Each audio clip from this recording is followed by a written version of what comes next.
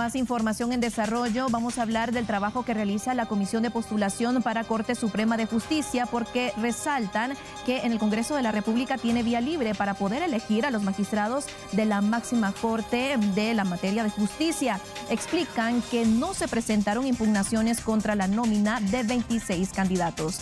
Se encuentra con nosotros el periodista Daniel Collín para que nos amplíe los detalles. Adelante, Daniel. Tres.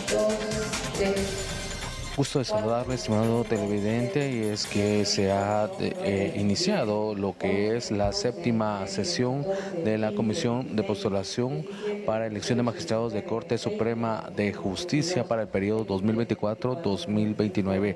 Y en esta ocasión, los comisionados pues que están acá, pues conocerán si hay pues eh, presentación de algún recurso por parte de postulantes que no fueron incluidos dentro de la agenda dentro de la nómina de candidatos que fue enviada al Congreso de la República.